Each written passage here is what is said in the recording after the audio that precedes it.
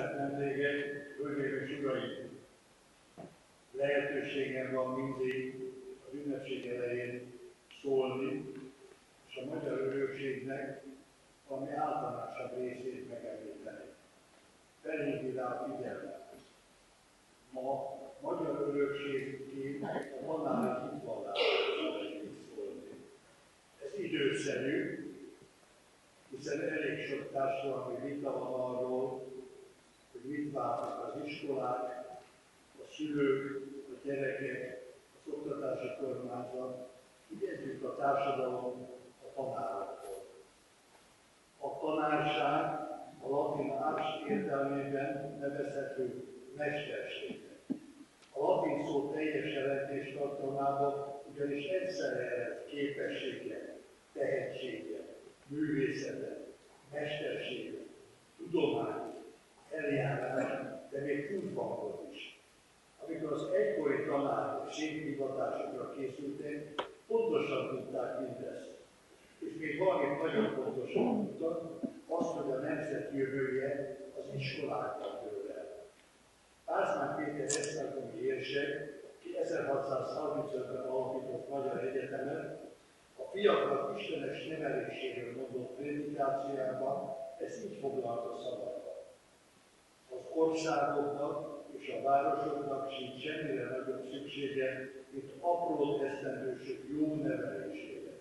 Mert sem eláradott gonoszságnak kiítására, sem a jó erkölcsök véoltására, sem a több felső csendes állapotok virágzására fogalmatosabb eszköz nem találhatik, gyermekek oktatásánál. Hasonlóképpen vélekedett Apácot Cseri János is. 1656-ban az iskolák fölötte szükséges voltáról elmékedve az iskolaállítást nevezte az ország legelső kötelességére, azt várva, hogy a gyermekek hazák reményeiről fogalmazva kiemelkedjenek a tudatlanság feneketlen örvényéből, így jussanak felnőtt korukban igazi világosságra. Az iskolák sötétség osztató erkölcsnemesítő szerepét ismerte fel oktatási rendeletében a Ráció Edukációizma Mária Kerézia, majd később 1868-ban előterjesztett törvényében Ötös József és utólag Report Ágoston 1872-ben, amikor kimondta, Magyarország fennállása a kultúra. Report mindehez az 1883. évi parlamenti vitában az akkor éppen bevezetendő oktatási reformról tartott expozéjában hozzátette. Az iskolai élet átszervezése, a tananyag és a tantárgyak számának csökkentése nem volt meg semmi. Májkapni érvényre jelentette ki, tisztán a helyes módszer és a tanárok okossága és helyes eljárása által lehet segíteni.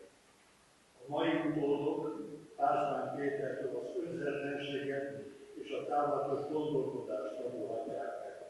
Apácaitól a hazához való ragaszkodást. Ötvös Józseftől a jogegyenlőség biztosítására törekvés. Report Ágostól a minőség feltétlen ismeretét. Úgy kell tanítani, ahogy Karácsony Sándor ajánlotta. Minden tanítvány homlokán megkeresse a titkos lényeget, amelyen az illető a széppel van elégezve, megkeresi eszüket, szívüket, a kulcsot, kitárja a tudás, a fejlődés és önfejlesztés statuát. És néha a jó tanártól sok egyéb mellett a diákok önzetlenséget, és a közösség szolgálatának értékét is megtakarozták. Látom az állam című könyvében Sokrates megidézve az emberi lélek három részéről. A vágya és az értelem mellett van egy harmadik, a tímusz, amely a tanítványok általi elismerés, a megbecsülés és az önbecsülés foglalja magára. Minden tanári értékelés akkor igazán megbecsülés hasznos, úgy végezzük a méltatást, hogy belőle üzenet hangzik ki a mai élet, a mai iskola felé is. Ez pedig így hangzik. Valójában vágyunk mások megbecsülésére, ez a forrás önbecsülésünknek. De vannak helyzetek, amelyekben fáradtságok, jutalma, azon meggyőződésünk, hogy kötelesség